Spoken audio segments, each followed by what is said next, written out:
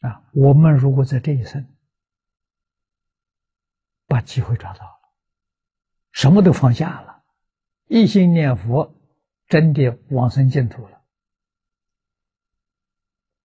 是不是这一生就开始的？不是的，你往生到极乐世界，你就看到了，过去生生世世都在学佛，那学了多少世了？这一生成功了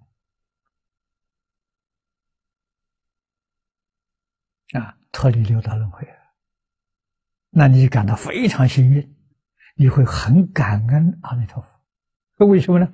如果不是这个法门，你要搞其他的八万四门的任何一个法门，你这一生绝对不能成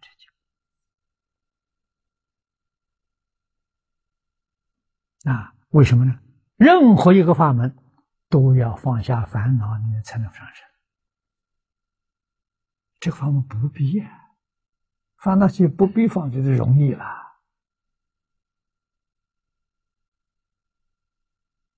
啊，死心塌地跟阿弥陀佛跟定了，一步也不肯舍。啊，这就到极乐世界去了。那你看这执着啊！啊，所以净宗不怕执着，只持名号，你看执着。啊，持是保持，不能失掉。啊，坚固的执着，执着阿弥陀佛，其他的都不要了。啊，这这种人呢，往生极乐世界，凡圣同居土。啊，好啊。极乐世界的凡圣同居土，跟十宝庄严土没差别，它在一起呀。啊，当中啊没有空间维持的障碍，啊，我们这个世界有，啊，那边的世界没有，啊，为什么没有？空间维持的障碍是从。分别执着来，你分别执着没有了，这个障碍就没有。那我们这个分别执着没断呢？这个习气不是带到到极乐世界没关系。极乐世界的人，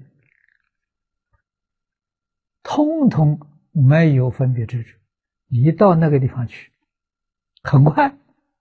几天就习惯了，你那个分别执着习气也会放下。为什么？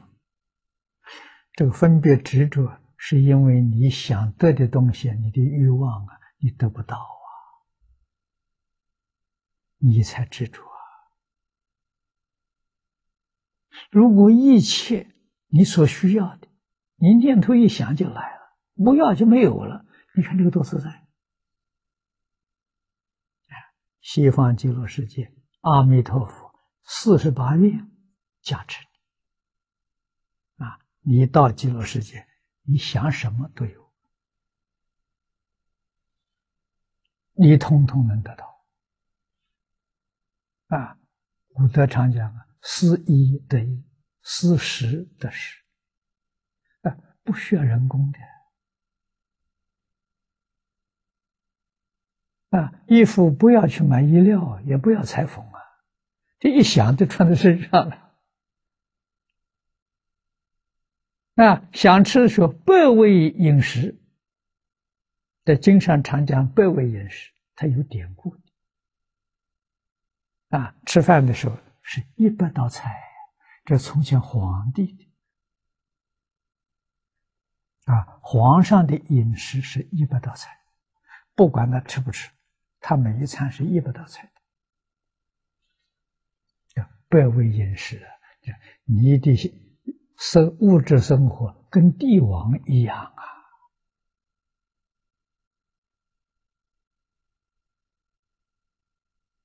啊，也不需要人工啊！你这一想，东西就在面前，啊，吃不不要了，不要就没有了，干干净净，一尘不染。